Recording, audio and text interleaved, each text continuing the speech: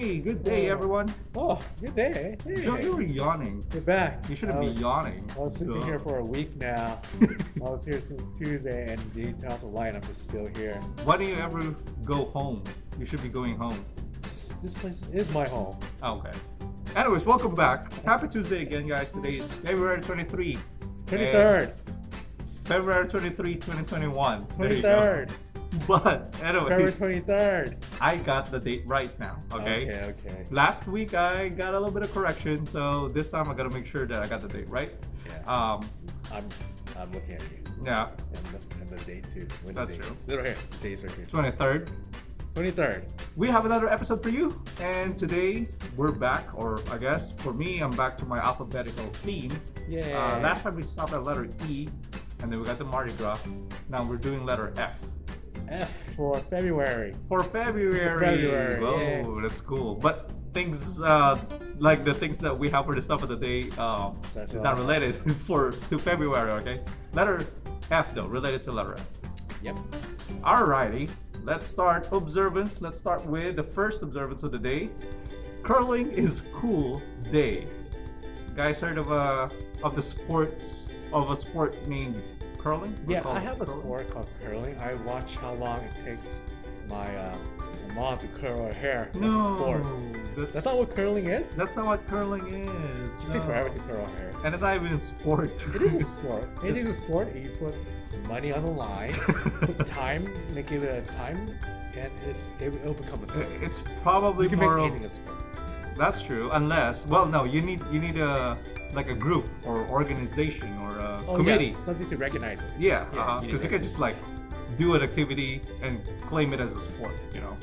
But anyways, uh, today though we're gonna be talking about actually we're talking about two sports today. This is the first one. Curling is good. Uh, curling Cool. Curling is cool. That's good. cool. Yeah, it's great though. It's great.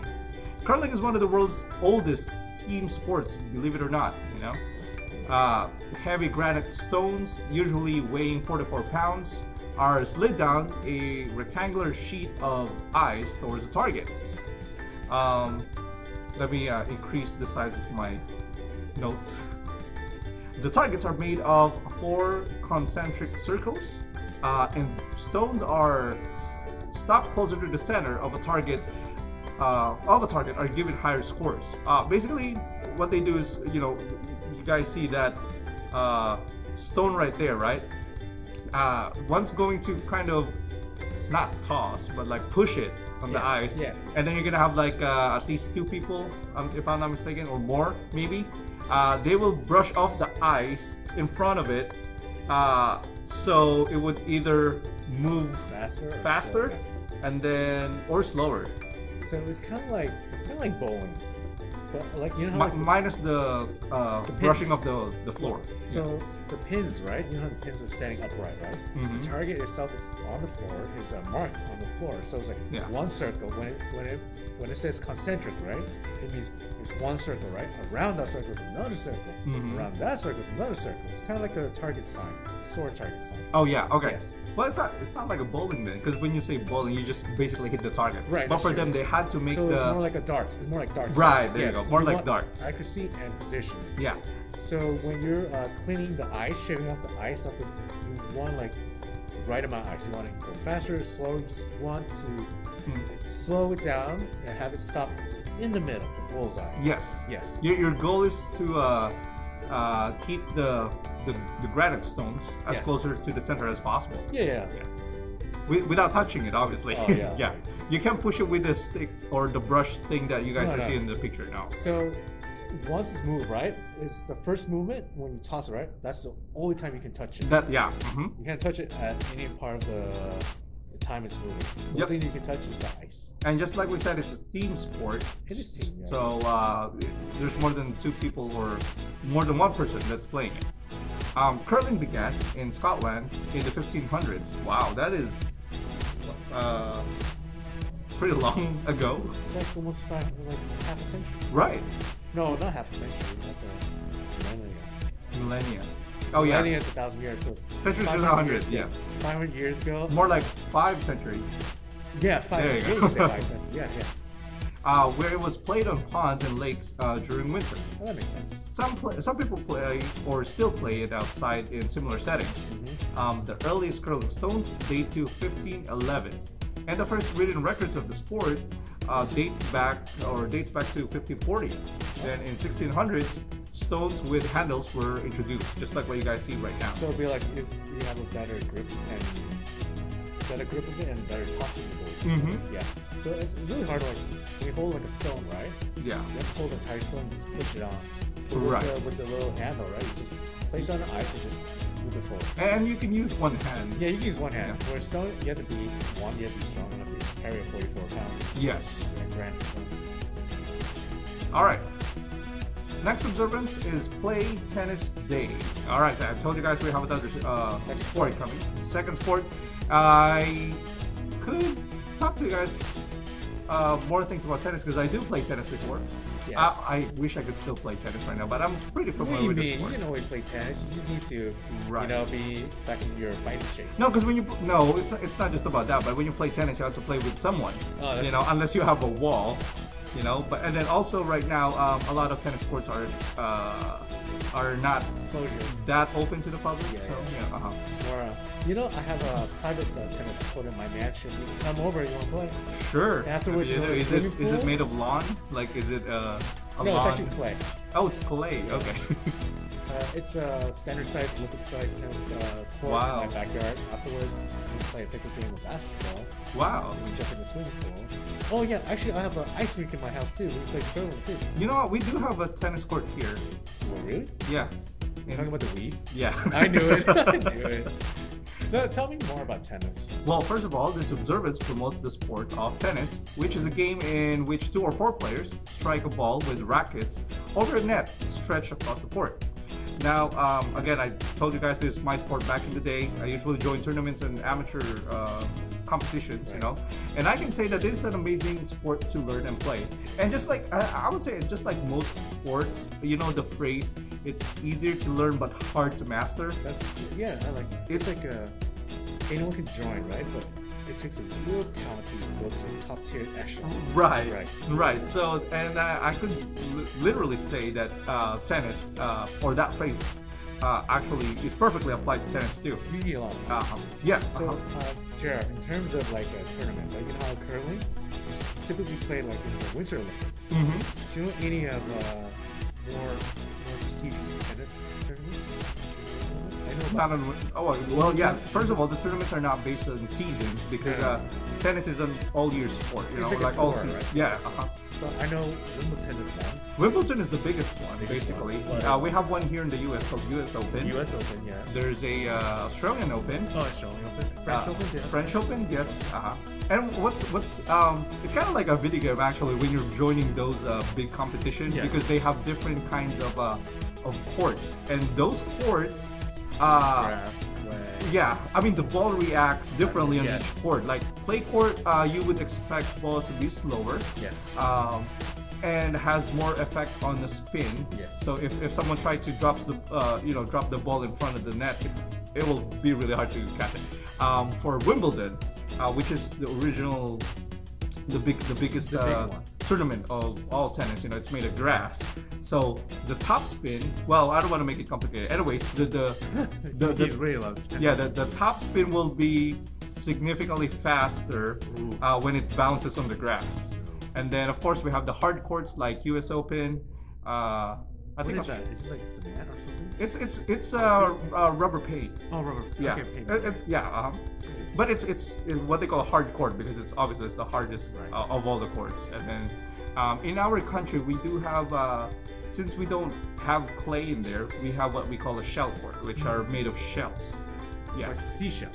Yes, Wow. like uh, ground ones, not not not not. Um, I mean, I guess there are also like uh, whole shells, you know, but there are also some that are um, not not pulverized, It seems like a little bit light. Huh? round. Yeah, but it's annoying because sometimes it's not even, and the ball's gonna hit uh, Oh, a shell so- and it's gonna bounce uh, on a funny way. direction. Yeah, yeah, exactly. yeah, Yeah. so. Hey, so who's one of your favorites? Uh, favorite uh, tennis player? Oh, I do have a lot of uh, favorite tennis players. My current favorite tennis player right now is uh, uh, what's his name? Oh, oh, now now I forgot. My my oh, my all-time favorite is Lleyton uh, Lleyton. Is that how you pronounce his name? Lleyton Hewitt. Yeah, he's Australian. I don't know. Yeah. Yeah, How about like the legends? Like Serena, Oh, uh, well- Well, yeah, of course, it's a given, you know. But um, yeah. uh, for, McEnroe, John McEnroe.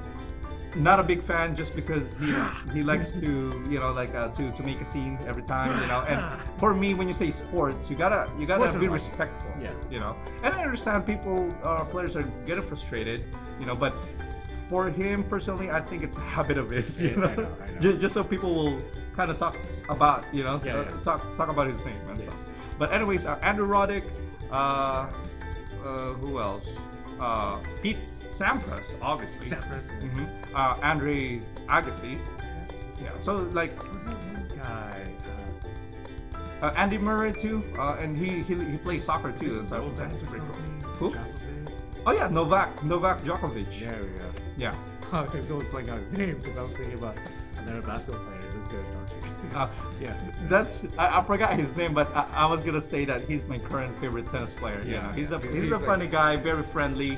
Uh, as far as you know, like uh, when, when you see him in tournaments, uh, of course uh, you have Roger Federer, Oh, Roger Federer. Yeah. I forgot about him. and then uh, Nadal. The Williams uh, uh, sisters. the Williams sisters, uh, especially Serena Uh, Williams, she's still playing. Can you imagine? Yeah, yeah. She hasn't retired yet. no, she's like what, 34, 33? a lot a, a lot of uh, other tennis players that started the same time as her were uh, retired for a long time already you I know know another uh, female tennis player, uh, Maria Sharapova.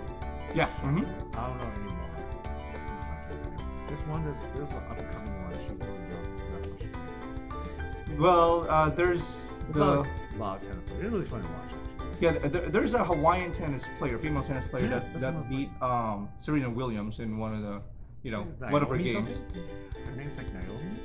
yeah uh-huh I think so too. But she's like Japanese. too, like- yes uh-huh Yeah, yeah, yeah. Yeah, that's what I'm thinking of. Yeah. So yeah, I mean, I guess yeah, there's a lot of There's information lot. I was able to share with you guys because you know tennis is just my my my uh, When how did it start? How did, how did it start? Oh. You know, like soccer, right? It was like uh, English sports. That's true. American football is American. Like tennis. What would you attribute tennis to?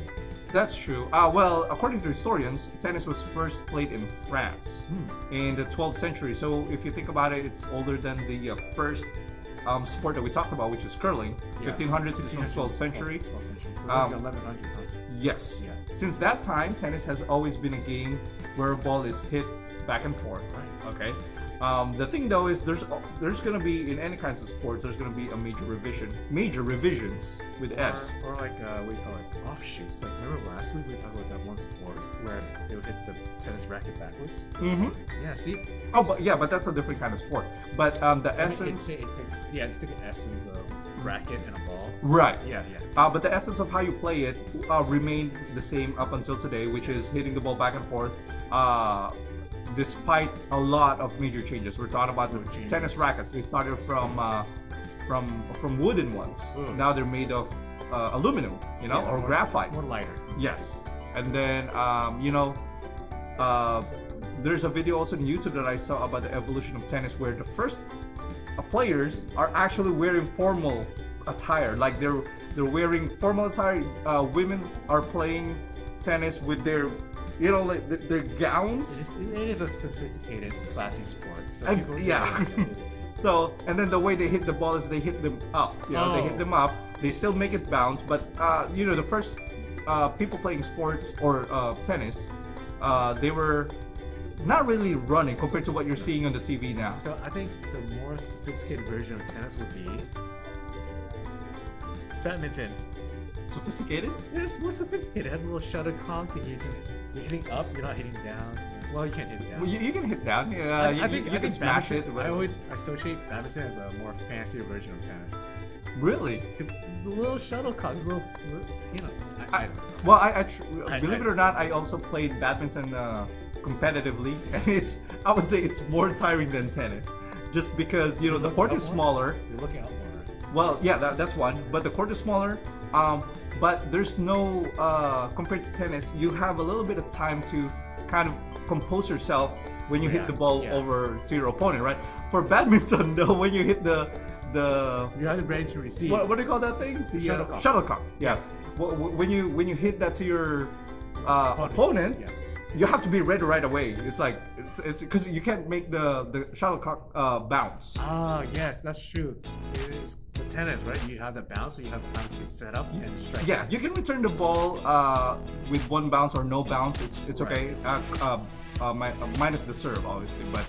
Yeah, but for the badminton, no, no. Really? Once, once the shuttlecock uh, touch the ground, it's your opponent or whoever you know And, was the last person to hit it gets the point. and. So, yeah, tennis, guys. Uh, we're doing the Wii. Yeah, you can't play. You can always play on video games. You can watch Right, tennis. uh-huh. Yeah. So yeah, we're doing the Wii tennis here once in a while, Wii Sports, and uh, I hope you guys are liking that. Undisputed champion. No, yeah, Joe is. All right, so once after you guys get tired of playing any of these sports, you might want to go get some Hungry. third Banana observance. Banana, Oh, bread. banana bread. National banana bread. Who loves? I love banana bread. I know uh, we have a friend who loves banana bread too, and uh, their uh, staff makes one of the best banana breads I tried. You know, I want to see. I want to see banana bread shaped like a banana. The, I'm not sure. Is it gonna work? I don't know. I guess you just have to shape it. You Yeah, bake just, it Just get it mold. and then mold it. Yeah. Oh, that'd So- be so cool. Hey, that's my idea. No, no one copy it. I can make a banana mold where you can make banana bread. but you have to make it look like a banana too, not just the shape. Like you have to make it uh, more yellow then, because you know. So I just glaze it with butter. Uh, I don't know. If I Okay, think I'll not put- a good idea how about- to glaze it with butter. Okay, how about some mustard then? Uh, okay, now let's get it worse. So yeah, banana bread is really sweet, it's really tasty. You eat by itself, it's classic. hmm Classified as a quick bread, Right. um, because it has a baking powder but no yeast. Uh, it is more similar to cake, uh, specifically uh, a tea cake, you know, uh, than it is to the bread because it usually contains a large amount of sugar. Um, it likely was given the name bread because it is sliced and often buttered, unlike yeah, unlike cake. Not just not don't put too much, which is usually frosted, you know, for the cake. Right, right. Um, bananas first arrived in the U.S. in the 1870s. I didn't know that. I I thought it was like more longer.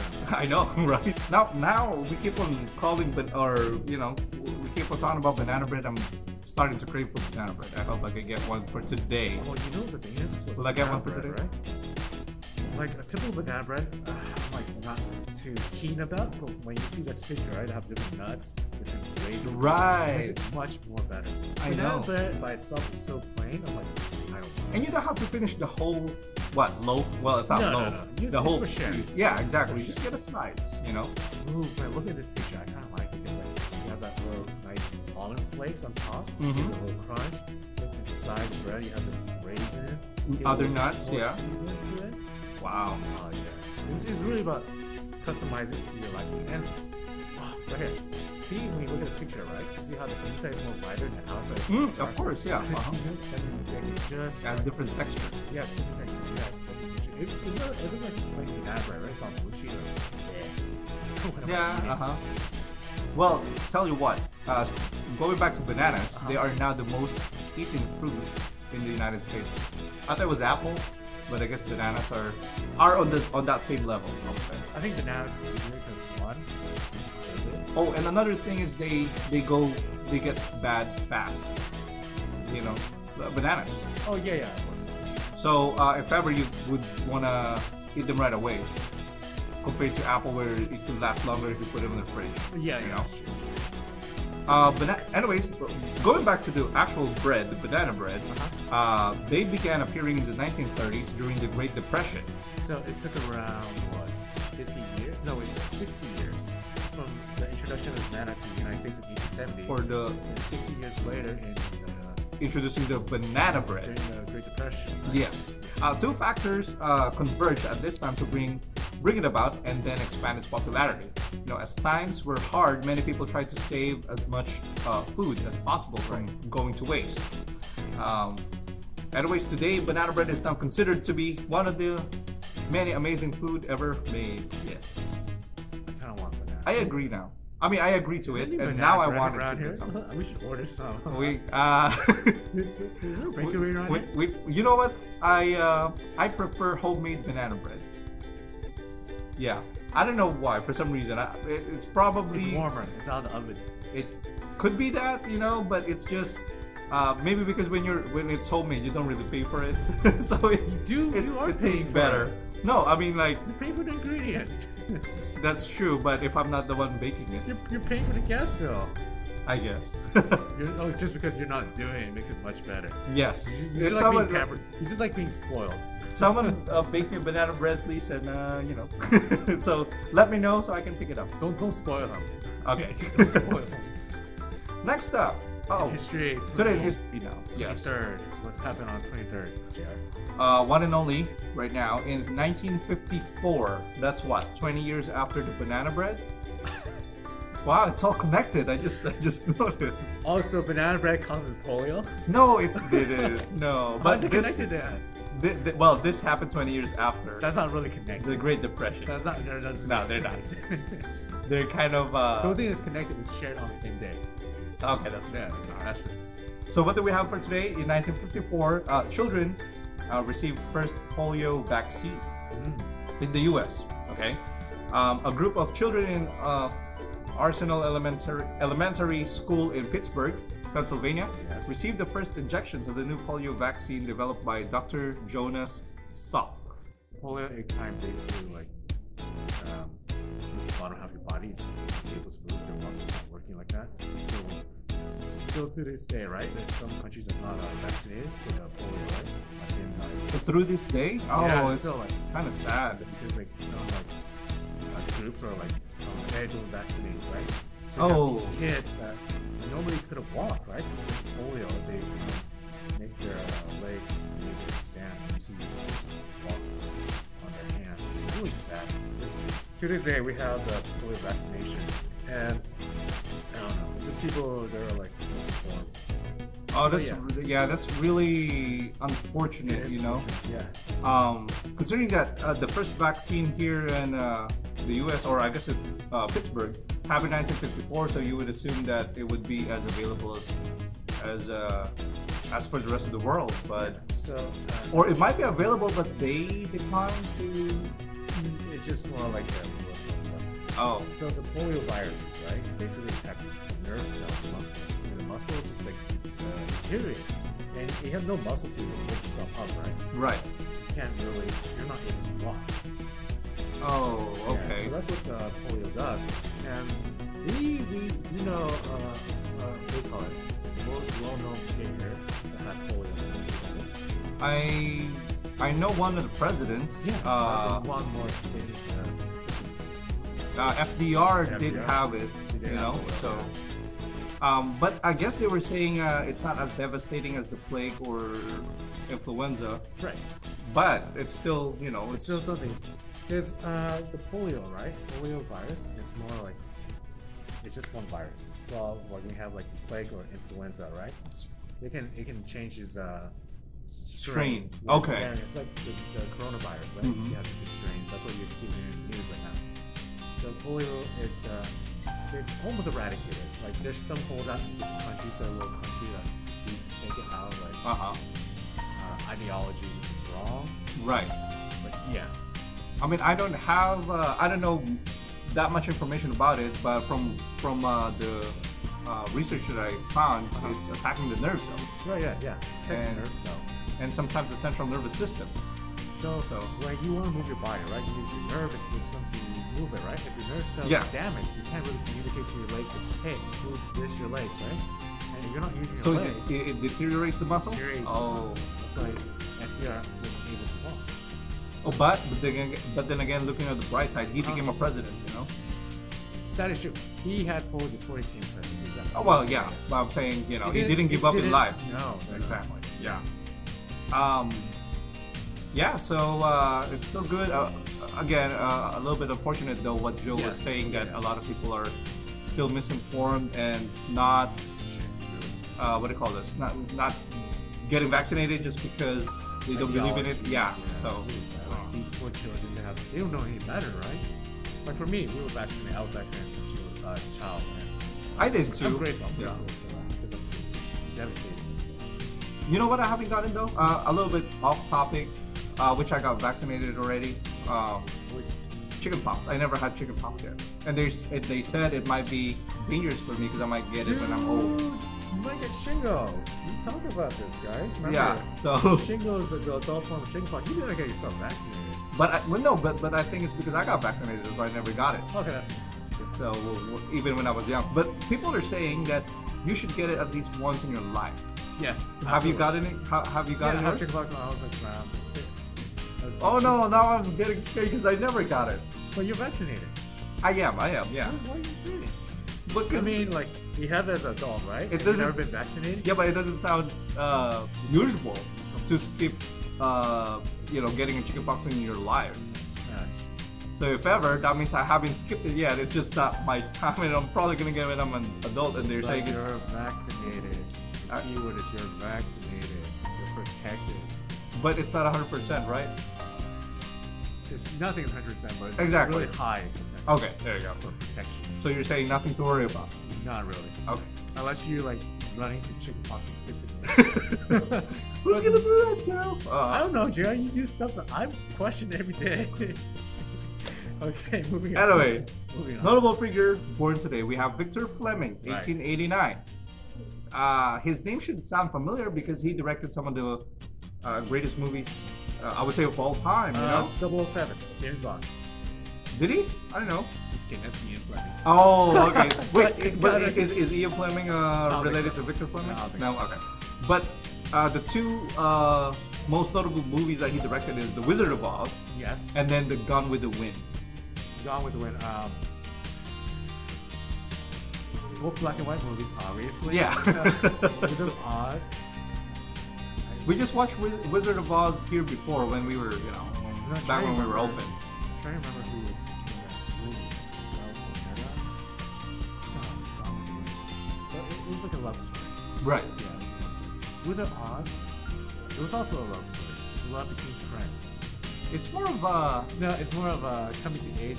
it's more, well, yeah, it, it's more of a fantasy based, Adventure, or, yeah, like. Narnia, you know, because like, in, I, I kind of compare Wizard of Oz with Narnia because the these kids, right? Ah, mm, The Cowardly Lion Aslan.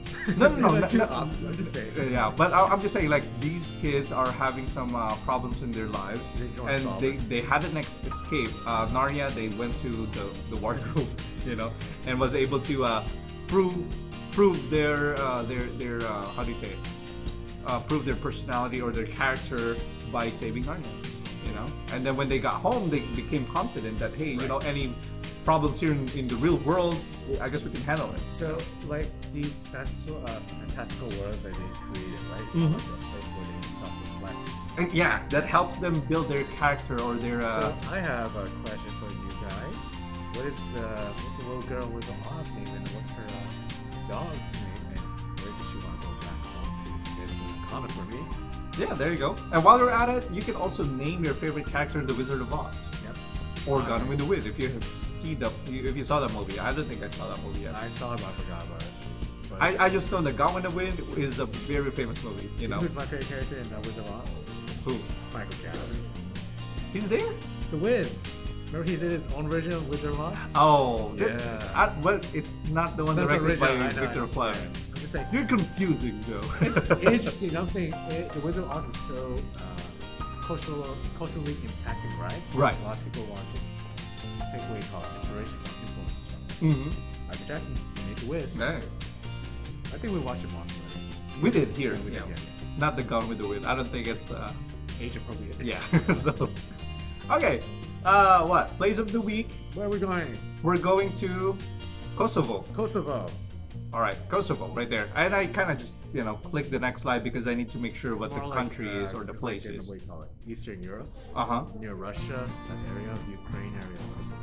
Kosovo. Yeah. Okay. Well, you know me. My uh, episode uh, talks about the uh, national symbols. Unfortunately, they don't have any national animal. So, Oh. yes, all I could find uh, would be the national flower, national tree. Of course, they do have a flag and uh, their uh, national uh, motto. Okay, so let's talk about the flower first. It's called the uh, Kosovo peonies. Peonies. hmm So the red peonies represent the blood of thousands of warriors who died in the Battle of uh, Kosovo in June 1389. That's a long time. Yes. Uh, so in some cases, it is a symbol of remembrance. Know. Uh, in the language of uh, flower, peony has a meaning of shame. Uh, this image comes from a myth that uh, wicked nymphs hide in the petals of uh, peony. So, wicked nymphs, it's kind of like. Not not really shame, more like shyness. It's kind of like fairies. Yes. Well, you're ashamed, you don't want to show yourself. Yeah. You're ashamed. Yeah. Okay, so that's the national flower. Uh, national tree. We have the uh, European beech, not the Not the ocean beach. not the ocean beech, but B E E C H. Uh, it is a strikingly beautiful tree native to Europe, uh, which has been planted widely in New England. America. Yeah. Yes. Um, it, its leaves turn reddish uh, coppery bronze in fall and tend to persi- uh, persist uh, throughout the winter. Uh, its low slung branches often droop to the ground, and then its bark is smooth, gray, and the trunk resembles an elephant's uh, foot. Right. That's pretty cool. so it's so weird, like you say how the low, the low slung branches, right? It droops into the ground. So you might mistake it as like a huge, uh, uh huge, uh, uh, uh, bush. oh, You think okay. of a tree. Yeah. Yeah, yeah. But instead of you uh, thinking that those branches are uh, are attached to the ground, they're actually Right. drooping down. Yeah, to you're the ground. down. Then you walk towards a bush, right? Mhm. How come there's an elephant here? elephant foot here. And then we have the uh, the flag. Uh, just wanna show you guys the flag, but I'm pretty sure Liz already showed you the flag. Uh, just wanna you know do a quick recap if ever. Uh, the flag of Kosovo shows six white stars in an arc uh, above the golden map of the country of the place on a blue field. The stars symbolize Kosovo's six major ethnic groups. Right, it's a different kind of like cultures banded Mhm. together in one flag. That's cool. They they each represent one star. Same thing with ours too. We have 50 stars, 50 states. Mm-hmm. Yeah. Symbolism. And then um, they have the uh, the motto called, or uh, you know, it says honor, duty, homeland. So just something quick that you might want to remember. And that is it for our uh, place of the week. Moving on to our stuff of the day. Letter F. F. Can you think of an animal that starts with letter F? Falcon. Uh, okay, that's a good one. Uh, Uh, flamingo. Finch. finch. Finch. Okay, there we go. I was gonna say it's really close. It's also a bird. Our animal of the day. It's a bird. Starts with letter F. Fox. Fox is not a bird. Fish. Oh my gosh, you already just said fish. Obviously, it's not a bird. Flying fish? oh, you're talking about birds? Okay. So bird, flamingo, falcon. Um, Well, you already said it. Finch, right there. We got it on the picture. I can't think of it. What is a finch? Finches are tiny birds, so it can be so easy to overlook them. Right. Uh, however, these little beauties are among the uh, most popular and widely kept types of pet birds in the world. Uh, so it's safe to say that many prefer them uh, to larger bird species such as uh, parrots or parakeets. Uh, but again, of course, it all comes down to the person's preference. you Right. know? Uh, finches are social birds, and for uh, this reason, it is normally recommended that they are kept in pairs or small flocks. You don't keep them by themselves a while. Exactly, um, because what happens if, if you like just have one one of this as pet, uh, they get you know they get unhealthy, generally Right, right, unhealthy. right. You know, they get sad, and even though you're there to you know kind of uh, play with them, yeah, it's um, totally different species. So uh, you know they're more used to be uh, hanging out with their own kind. Because they have their own languages, Mhm. own song, they probably understand better than we. Yeah. Even though we're giving them food, shelter, stuff like that. just to survive, but not to live. Socialize, You know? yeah, live. there you go. And it, it's really important to birds, uh, especially for the social animals, because it also keeps them healthy. You know. Um, next would be the foxglove. Purple. The name foxglove was first recorded in the year 1542 by uh, Leonhard Fuchs, which is uh, well, I think it's well because it's German.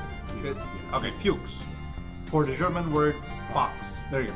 Uh, foxglove are native to Europe, uh, the Mediterranean region, and the Canary Islands. And several species are cultivated for their attractive flower spikes. I think it's really, it's it's pretty. It's- I'm not really a flower person, but I can appreciate uh, flowers that look, uh, you know, looks cool, good. Kind of look like a bellflower. Yeah. Uh huh. Yeah. Uh huh. Facing down. Foxgloves thrive in acidic soils in partial sunlight to deep shade in a range of habitats, including uh, open woods, woodland clearings, moorland, um, heath margins, sea cliffs, uh, you know, rocky mountain slopes, and hedge banks. I mean, you name it. So places where typical normal flower would be Exactly. Yeah. So that's our plan of the day. Next, our musical art of the day, and uh, again, uh, I said we're gonna be talking about um, either the artist or the their Song single, names, you know, song not just the album anymore. Yeah. Letter F.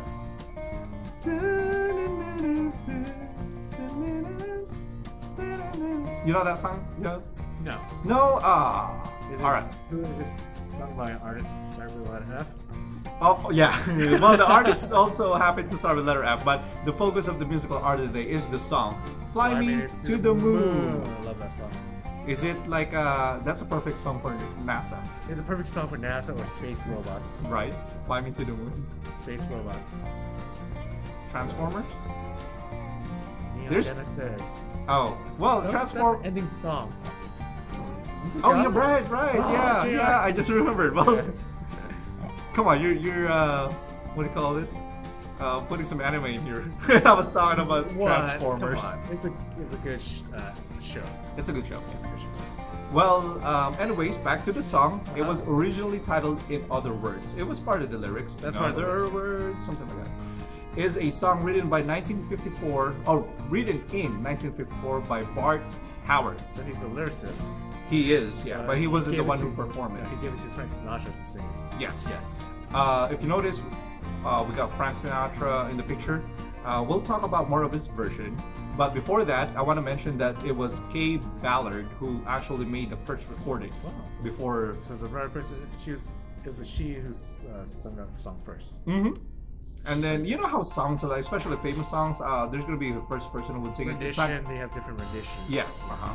Well, and then after that, uh, you know, Frank Sinatra's version. Now, uh, about Frank Sinatra's version, the uh, 1964 recording became closely associated with NASA's Apollo space program.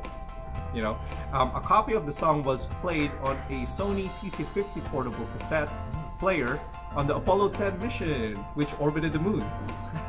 It's pretty cool. That makes sense. It's like what you're, you you're flying to the moon. You gotta song that's appropriate to flying. To Exactly.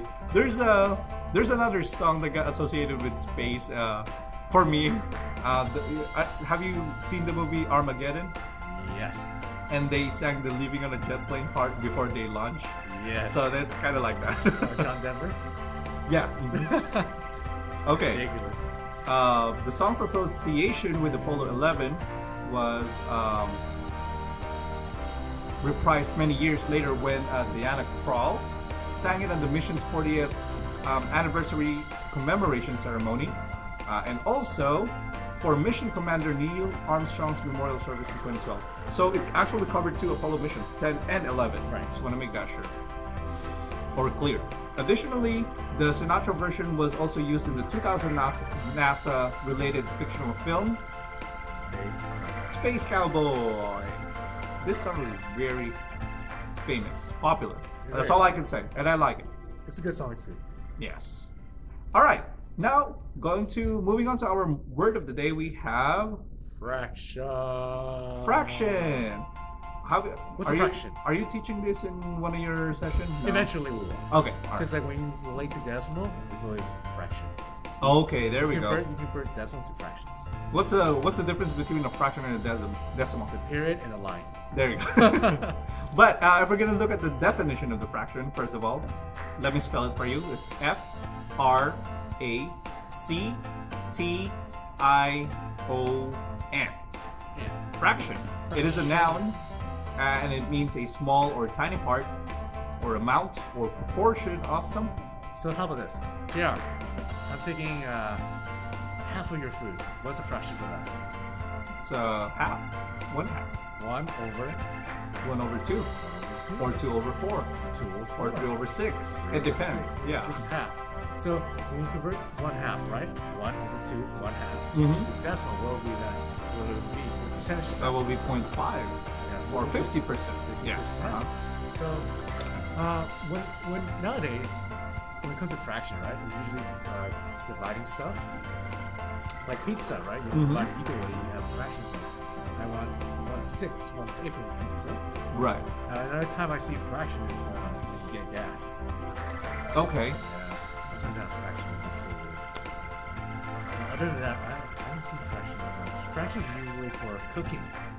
That's true. Measurement. I mean, measurement, you know, yeah. when yeah, cooking, uh, they're doing the you know one half, one one half cup, One half cup. uh, three fourths. Uh, what do you call this? Like, uh, cups of something. or- another. Because the key word here is proportion. Right. Uh Right? huh. So sometimes you, want to measure accurately for like uh, liquids, right? Mhm. You use milliliters, gallons, or whatever, right? Yeah. Sometimes the recipe calls for half of this in proportion to the other ingredients. Right. Uh huh. So there you go. That's our word of the day. Now, last part, our tech trivia. We're back to tech trivia. It's also letter F. Ah, so blue. It's so blue. Who's that guy? Is that Bill Gates? no. but it has something to do with tech too. oh, you know. really? Uh, Facebook.